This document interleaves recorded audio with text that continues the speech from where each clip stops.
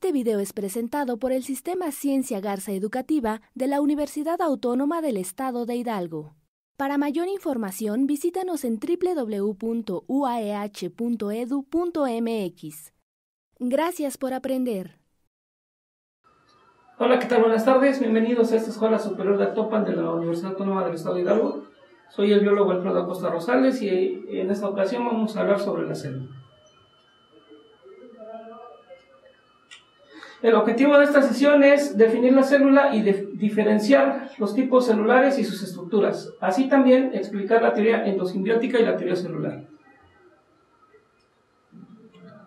Tenemos que comenzar hablando qué es la célula. Y la célula se define como la unidad fundamental, estructural y funcional de todos los seres vivos. Esto quiere decir que todos los seres vivos estamos formados por células y las células van a ser las encargadas de llevar a cabo todos los procesos metabólicos y al mismo tiempo darnos una estructura. Según el tipo de célula vamos a, clasificar a, diferentes organismos y tenemos que comenzar con aquellos que son eh, unicelulares. Los unicelulares, como su nombre lo indica, son aquellos organismos que solamente están conformados por una sola célula. Esta célula tiene diferentes características, principalmente que no presentan un núcleo, un núcleo bien definido, eh, la importancia del núcleo es que en el núcleo vamos a encontrar el material genético que se va a heredar a todos los descendientes. Este se va a encontrar distribuido en el citoplasma de, la célula y tenemos diferentes tipos de organismos pertenecientes a, los unicelulares. Por ejemplo, los paramecios y las amibas que pertenecen al reino de los protozoarios, asimismo como las bacterias que pertenecen al reino monero. Entonces la célula procariota eh, tiene una característica principal que es la de no poseer núcleo. De hecho, de ahí se deriva su nombre. Eh, se conjuga por, los vocablos pro y carión. Pro quiere decir antes y carión núcleo. Entonces, estas células se formaron antes del núcleo. Eh, son muy pequeñas, miden entre 1 y 10 micras. la micra es un tamaño 10.000 veces menor al centímetro. También van a presentar pared celular es una estructura que les va a dar protección, es una estructura muy fuerte. Esta puede estar formada por carbohidratos, en este caso van a ser azúcares, o por péptidos. Los péptidos son aminoácidos que eh, por unión y en diferentes procesos este, metabólicos van a formar a las proteínas. Otra de las características de las células procariotas es que van a tener una reproducción de, de tipo asexual.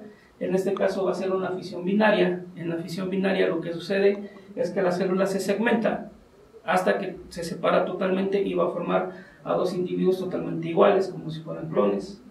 Eh, van a tener un tipo de alimentación autótrofa y heterótrofa. Vamos a tener organismos autótrofos que van a realizar la fotosíntesis, por lo tanto, eh, una de las estructuras que van a presentar en su interior son los cloroplastos. Los heterótrofos, como la mayoría de los organismos, nos tenemos que alimentar de otros organismos para poder sobrevivir van a tener un tipo de respiración aerobia, esto quiere decir que van a utilizar el oxígeno, pero también hay organismos que tienen un tipo de respiración anaerobia. Estos no van a utilizar el oxígeno, sino que van a utilizar otro tipo de sustancias que incluso pueden ser tóxicas para otros organismos como nosotros. En relación al tamaño, pues eh, veíamos que son mucho más pequeñas a un centímetro, por lo tanto, al ser unicelulares solamente van a ser organismos microscópicos, no los vamos a poder ver a simple vista. En el caso de la célula eucariota, EU significa verdadero y carión, pues este núcleo, como ya lo había mencionado.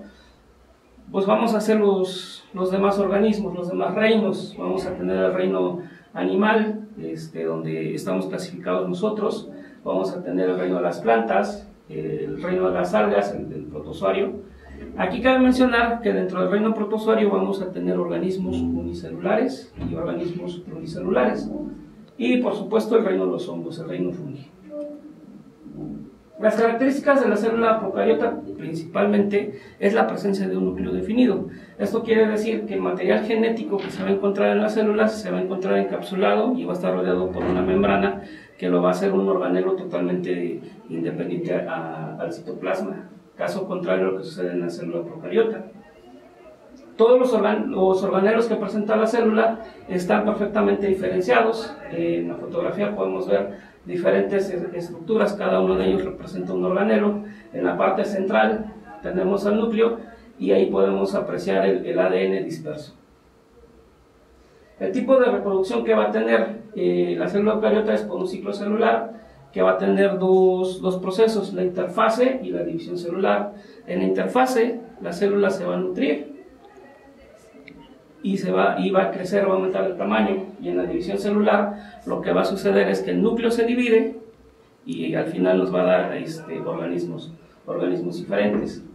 También eh, vamos a encontrar organismos autótrofos, por ejemplo las plantas y las algas, que van a realizar la fotosíntesis, y todos los demás, los hongos, este, los animales, pues vamos a hacer organismos heterótrofos. Entonces, eh, entre la, eh, dentro de la célula eucariota tenemos dos tipos de células, la célula vegetal y la célula animal, que también van a presentar algunas diferencias importantes. En el caso de la célula vegetal, vamos a tener en primera instancia a, la pared celular. Esta se va a formar en el último proceso de la división celular llamado citocinesis.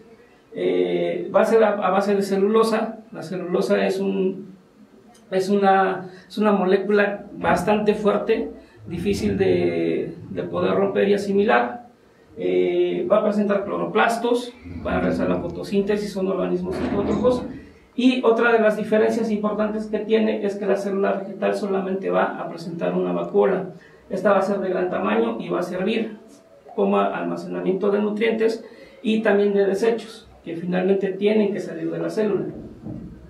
En el caso de la célula animal, no vamos a presentar eh, pared celular, tampoco vamos a presentar cloroplastos, no realizamos la fotosíntesis, nos tenemos que alimentar eh, de otros organismos y esta va a presentar vesículas pequeñas de, secreción, es decir, todos los desechos que se van a estar formando en el aparato de Golgi tienen que salir en forma de estas vesículas.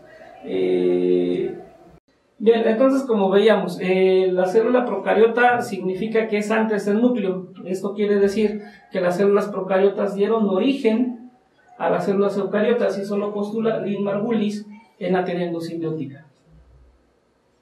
Eh, lo que ella menciona en esta teoría es que una célula procariota embebe a otra célula, no la, no la digiere, sino que, que queda eh, en el interior de la célula como si fuera eh, un tipo de parasitismo, por llamarlo de alguna manera. Y con el paso del tiempo, con procesos evolutivos, con los cambios que hay en el ambiente, por ejemplo, el aumento de la cantidad de oxígeno en la atmósfera, pues dio origen a que estas células embebidas se fueran convirtiendo en organelos, principalmente en el núcleo. Y todo esto nos lleva a la teoría celular, que fue postulada por, por los investigadores alemanes Matthias Leiden y, Theodor Swan, eh, el primero botánico y el segundo este, trabajo con animales. Eh, hacen como una recapitulación de, de, toda esta información, por supuesto hacen sus propias investigaciones y todo parte desde, la, desde el descubrimiento de la célula por Robert Hooke en 1665. Entonces, con los trabajos aislados que tuvieron estos dos personajes alemanes, pues postulan la teoría celular, la que nos dice eh, principalmente, y es con lo que habría yo esta presentación, es que todos los seres vivos estamos conformados por células y vamos a tener organismos unicelulares y pluricelulares. La célula va a ser la unidad más pequeña que vamos a tener todos los organismos y en ella se van a realizar todos los procesos vitales. Así como nosotros respiramos, así como nosotros nos alimentamos, así como nosotros nos reproducimos, las células a ese nivel tan pequeño también va a estar realizando todos este tipo de procesos. Todas las células se generan a partir de otras preexistentes, es decir, no, tenemos, no hay nada de la teoría creacionista en el que por un acto de magia aparecen los organismos, sino que tiene que haber uno, uno anterior. Y finalmente las células contienen la información genética que se hereda. En el caso de las células eucariotas se encuentran en el núcleo y toda esa combinación de ADN pues va a ser heredada a todos los eh, descendientes. Y bueno, por mi parte es todo. Eh, espero que la información les, sea de utilidad. Les dejo ahí la, un poco de bibliografía por, por si les interesa seguir investigando sobre el tema. Eh, Les reitero mi nombre, Alfredo Acosta, estoy en sus órdenes. Muchas gracias por su atención.